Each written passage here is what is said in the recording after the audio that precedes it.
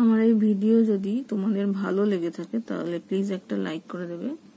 এবং যদি এখনও পর্যন্ত আমার চ্যানেলটা সাবস্ক্রাইব না করে থাকো, তাহলে চ্যানেলটা সাবস্ক্রাইব করে বেল আইকনটা প্রেস করে রাখবে। পরবর্তীকালে আরও নতুন নতুন প্রয়োজনীয় ভিডিও পাওয়ার জন্য। আজকে আমরা করব দেখো ক্লাস নাইনের কোষে দেখি নাইনের এক্সারসাইজ যেটা আছে সেইগুলো। বেদক ও মধ্যবিন্দু সংক্রান্ত উপপাদ্য। তো এক নম্বর দেখো বলেছে এবিসি ত্রিভুজের বিসি বাহুর মধ্যবিন্দু হচ্ছে ডি ডি বিন্দু দিয়ে সিএ এবং বিএ বাহুর সমান্তরাল সরলরেখাংশ বিএ এবং সিএ বাহুকে যথাক্রমে ই এবং এফ বিন্দুতে ছেদ করে।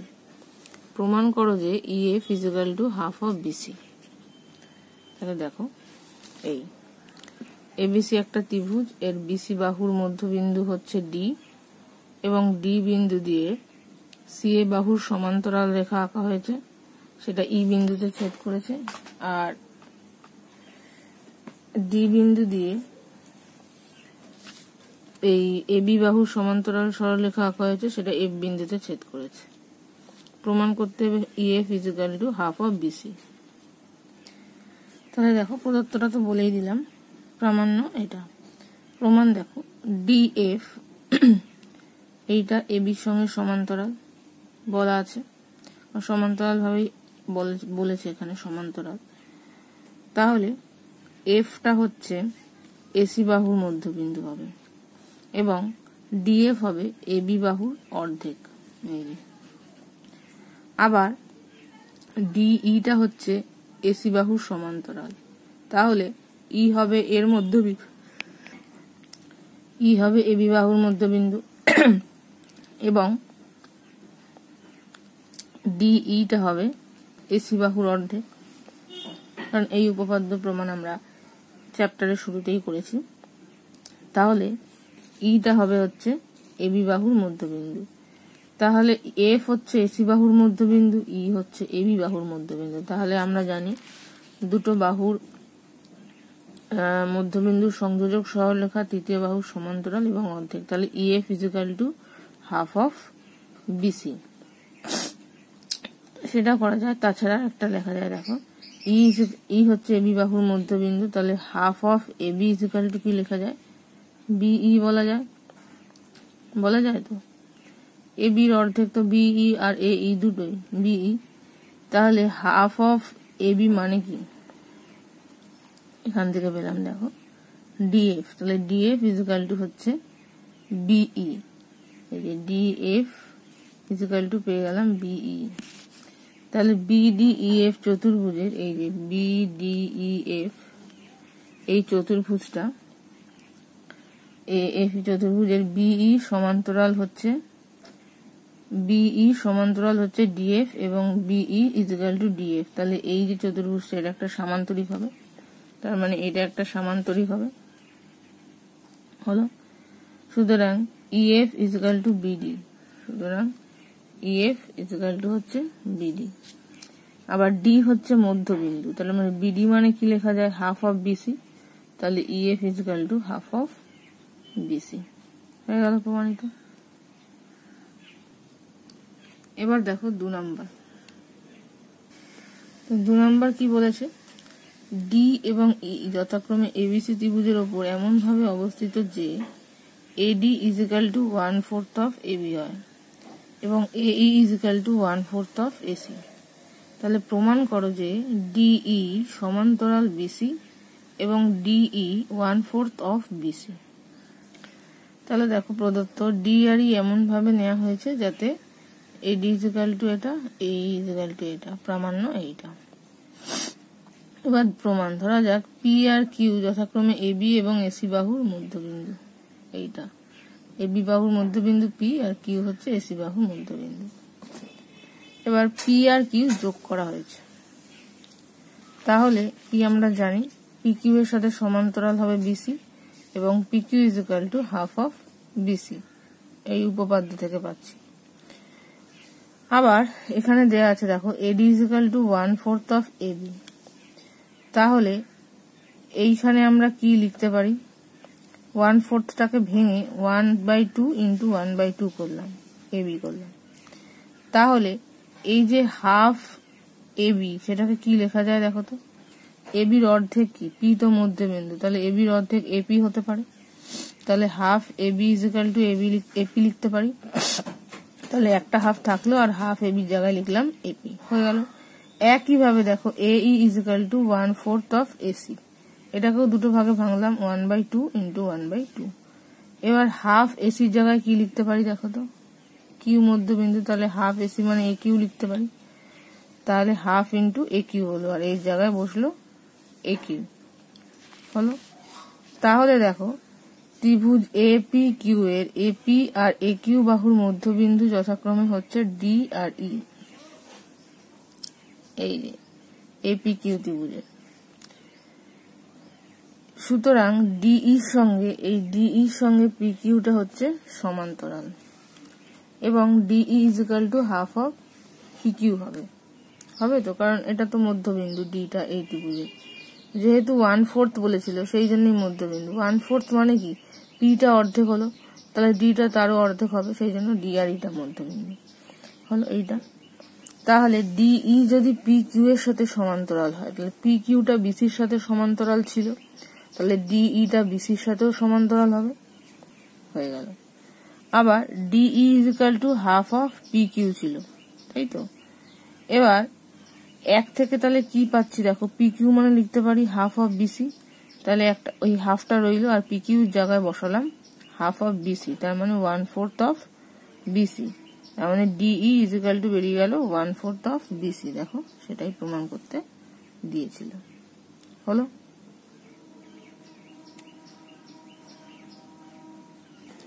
এবার দেখো, তিন নাম্বার। বলেছে এক্স এবং জেড যথাক্রমে পি কিউ আর ত্রিভুজের কিউ আর এবং কিউপি বাহুর মধ্যবিন্দু। কিউপি বাহুকে এস বিন্দু পর্যন্ত এমনভাবে বাড়ানো হলো যাতে পি আর বাহুকে সেটা ওয়াই বিন্দুতে ছেদ করে। এবং না, এমনভাবে বাড়ানো হলো যাতে P S PS PS is equal to Z P হয়। মানে পি হচ্ছে এই জেড এস এর মধ্যবিন্দু। এবং এস এক্স পি আর বাহুকে ওয়াই বিন্দুতে ছেদ করেছে। প্রমাণ করো। P Y is equal to one fourth of P R তাহলে দেখো প্রদত্ত এক্স এবং জেড যথাক্রমে ত্রিভুজ পি কিউ এর কিউ আর আর কিউপির মধ্যবিন্দু। কিউপি বাহুকে এস বিন্দু পর্যন্ত এমনভাবে বর্ধিত করা হয়েছে যাতে PS is equal to Z P হয় এবং এস এক্স কে ওয়াই বিন্দুতে ছেদ করেছে। প্রামাণ্য হচ্ছে P Y is equal to one fourth of প্রমাণ দেখো, যেহেতু এক্স আর জেড ত্রিভুজ পি কিউ আর এর কিউ আর আর কিউ পির মধ্যবিন্দু, তাহলে আমরা কি লিখতে পারি? এই যে, এখান থেকে এটা আর এটা মধ্যবিন্দু, তাই তো?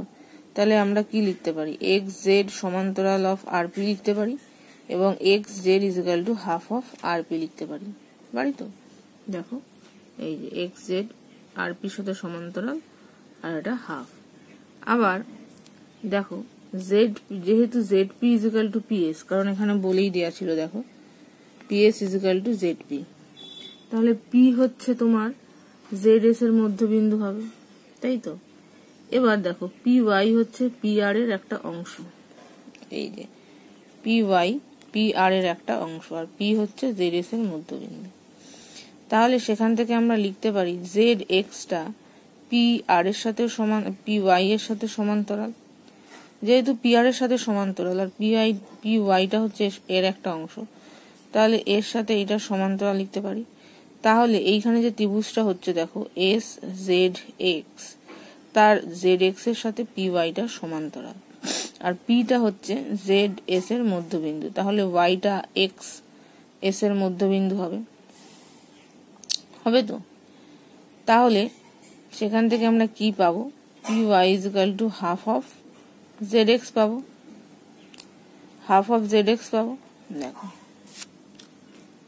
পি ওয়াই সমান্তরাল জেড এক্স পি হচ্ছে জেড এক্স সুতরাং P Y is equal to half of Z X পাবো এইবার Z X is equal to কি ছিল দেখো? Z X is equal to ছিল হাফ অফ পি আর তাহলে জেড এক্সের জায়গায় আমরা বসালাম হাফ অফ পি আর তাহলে one by fourth of P R প্রমাণিত হয়ে গেল?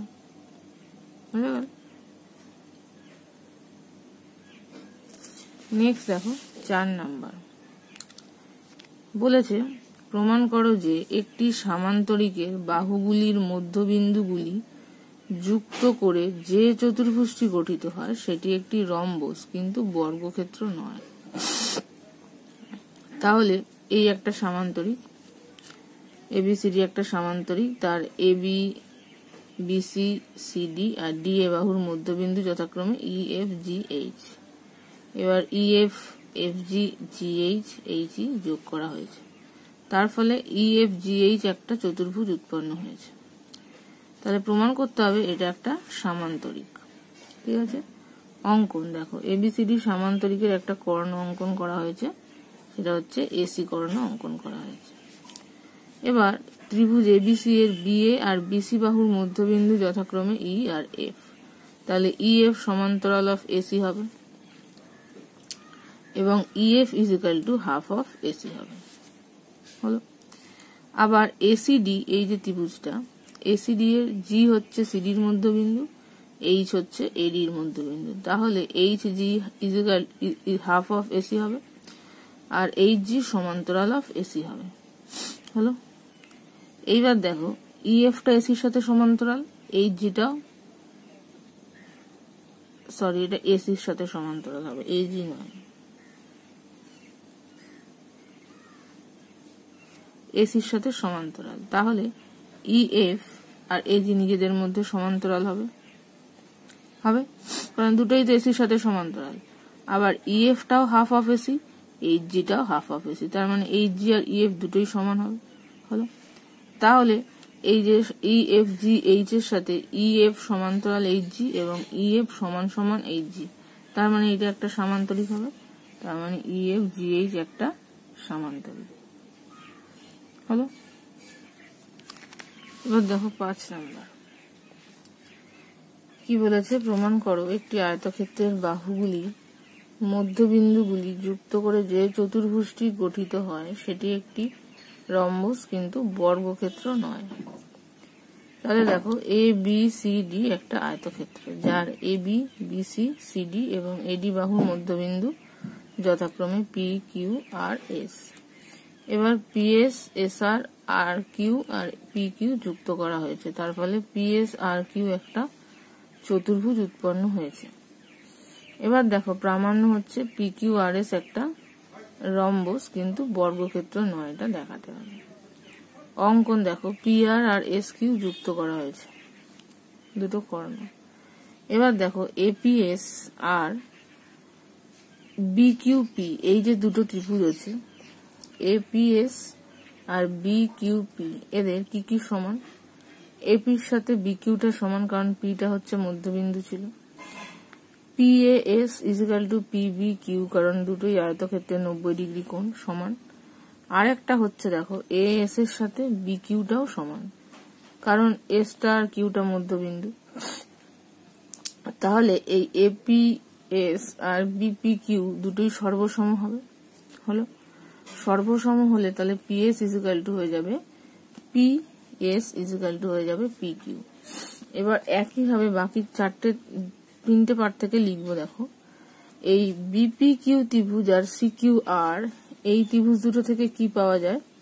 এই ত্রিভুজ দুটো থেকে পাওয়া যাবে P Q is equal to Q R আবার সি কিউ আর আর এস ডি আর এই ত্রিভুজ দুটো থেকে কি পাওয়া যাবে? S R is equal to Q R এই যে S R is equal to Q R আবার S D R R A S P এই দুটো থেকে পাওয়া যাবে P S is equal to S R তাহলে এই যে পি কিউ আর এস হলো, তার দেখা যাচ্ছে সব চারটে বাহুই সমান। P S is equal to S R is equal to R Q is equal to Q P তার মানে এটা একটা রম্বস হলো এইবার দেখাতে হবে যে এটা বর্গক্ষেত্র নয়। দেখো, এটা হলো রম্বস। এবার দেখো, এই যে এ পি আর ডি যে চতুর্ভুজটা আছে এ পি আর ডি এই চতুর্ভুজের কি হবে? AP is equal to D R কেন কি এটা তো আয়তক্ষেত্র, দুটোরই মধ্যবিন্দু পি আর আর সেই জন্য। এবং এপি সমান্তরাল হচ্ছে ডি আর যেহেতু আয়তক্ষেত্র, তাই বিপরীত বাহুগুলো সমান্তরাল হবে। এবং পি এ ডি এই কোণটা নব্বই ডিগ্রি, কারণ আয়তক্ষেত্রের একটা কোণ নব্বই ডিগ্রি। তাহলে পুরো এটা থেকে বলতে পারি এ পি আর ডি এটা একটা ছোট একটা আয়তক্ষেত্র। হুম? সুতরাং এডি ইজিক্যাল টু হয়ে যাচ্ছে পি আর বিপরীত বাহু সমান। একইভাবে এ বি কিউএস। এইটা থেকে যদি পাই, তাহলে A B is equal to হচ্ছে কিউএস। এই চতুর্ভুজটার। A B is equal to QS. এবং এ ডি যেটা, সেটা গ্রেটার দেন হবে এ বি, কারণ আয়তক্ষেত্রের দৈর্ঘ্য প্রস্থের থেকে বড় আমরা জানি। তাহলে সেক্ষেত্রে আমরা কি বলতে পারি? সেক্ষেত্রে আমরা বলতে পারি, দেখো পি আর সেটা গ্রেটার দেন হয়ে যাবে কিউএস কারণ এডি আর এইটা তো সমান। আর এবি আর এইটা সমান। তাহলে P R greater than QS হবে। হলো? মানে এই দুটো থেকে পাচ্ছি আর কি। তাহলে পি কিউ আর এস এই যে যেটা রম্বস হয়েছে, এর কর্ণদয় দুটো অসমান হলো। এইটা বড় হচ্ছে, এইটা ছোট হচ্ছে। তাহলে রম্বসের কর্ণদয় যদি অসমান হয়, তাহলে সেটা কখনো বর্গক্ষেত্র হবে না। বর্গক্ষেত্র মানেই তার কর্ণদয় সমান হবে। তাহলে পি কিউ আর এস একটি রম্বস কিন্তু বর্গক্ষেত্র নয়।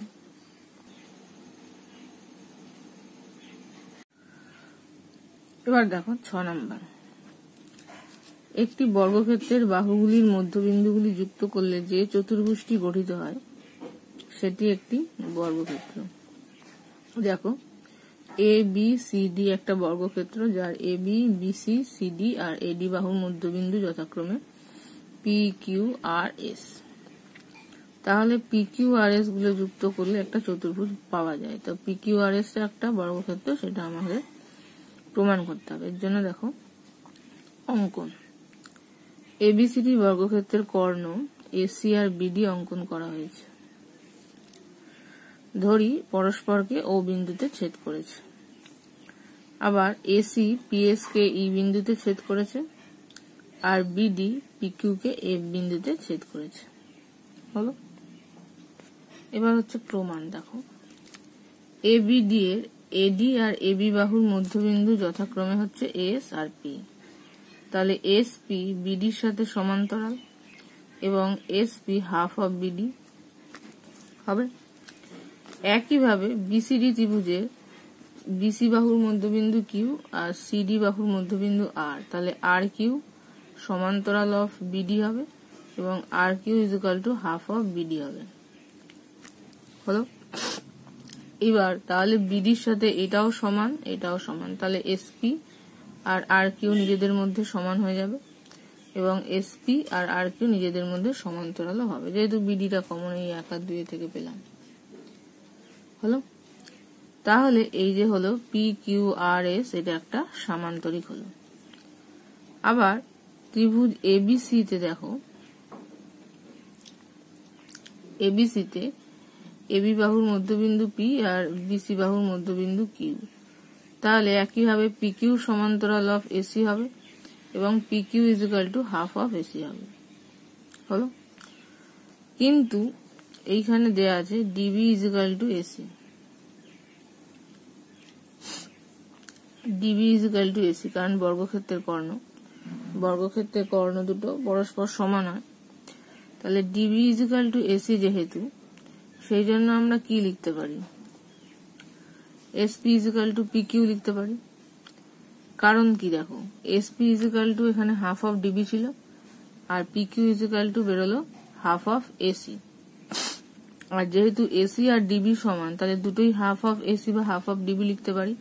তাহলে এসপি ইজিক্যাল টু হয়ে যাবে পি কিউ এই যে SP equal to P Q আবার তার মানে ছিল কি? SP equal to R Q ছিল। তার মানে P Q equal to R Q equal to এখানে P Q equal to S R ছিল, তাহলে চারটে বাহু সমান হয়ে গেল। তাহলে দেখো পি কিউ আর এস সামান্তরিকের সন্নিহিত বাহুগুলো সমান।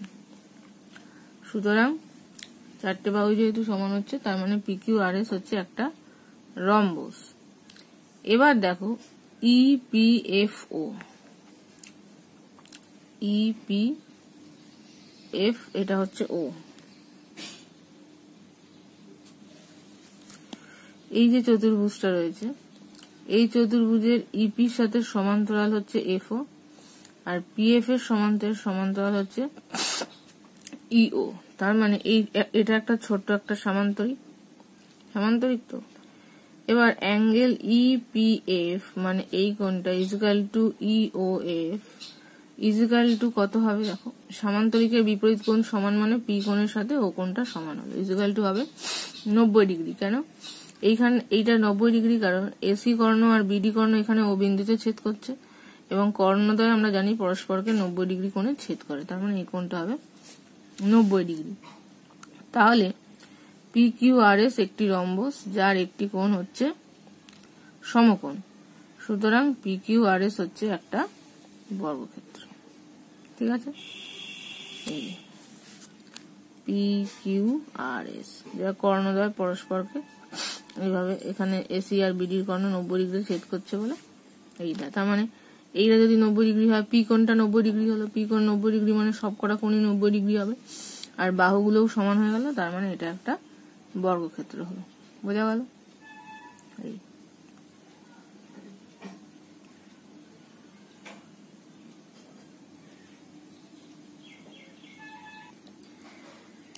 এবার দেখো সাত নাম্বার।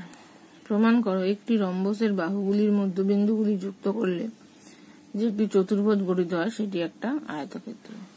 তাহলে দেখো এ বি সি ডি একটা রম্বস, যার A B B C C D AD বাহুর মধ্যবিন্দু যথাক্রমে পি কিউ আর এস এটা যুক্ত করে একটা চতুর্ভুজ হচ্ছে পি কিউ আর এস দেখাতে হবে পি কিউ আর এস একটা আয়তক্ষেত্র। অঙ্কন হচ্ছে দেখো এ বি সি ডি রম্বসের কর্ণদ্বয় এসি আর বিডি অঙ্কন করা হয়েছে। বিডি আর এসি অঙ্কন করা হয়েছে। মনে করছি এসি আর বিডি পরস্পরকে ও বিন্দুতে ছেদ করেছে। এবার আগেরটার মতনই একই রকম।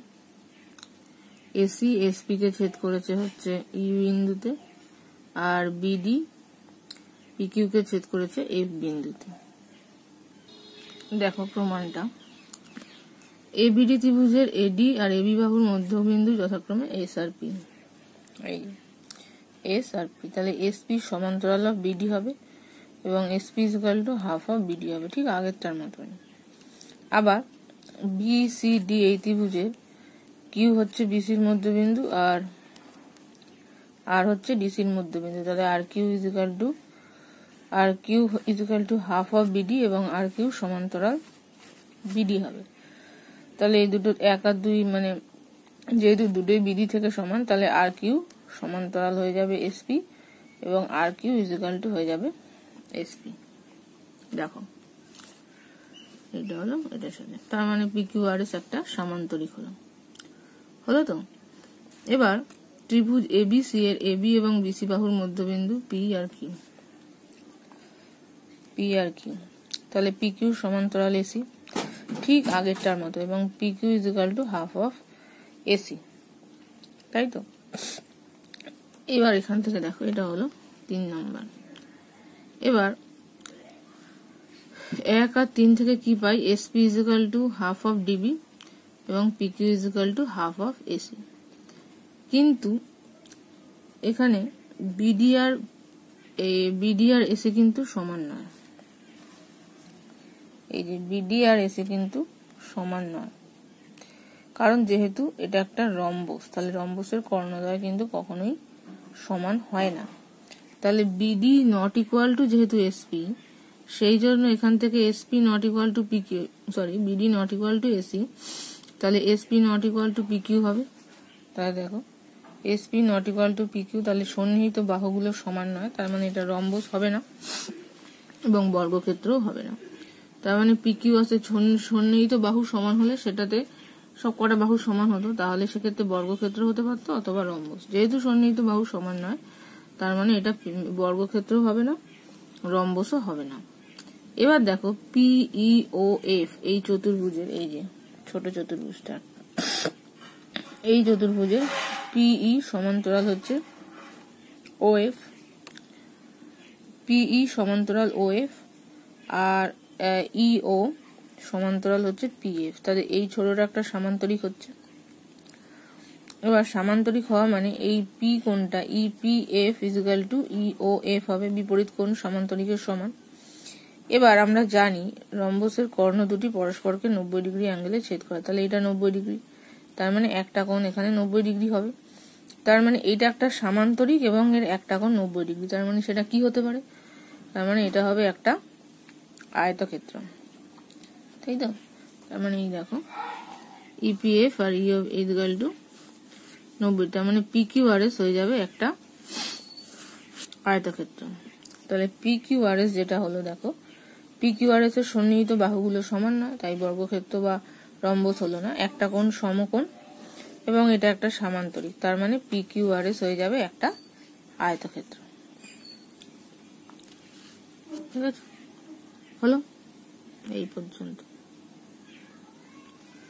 এই এখান থেকে।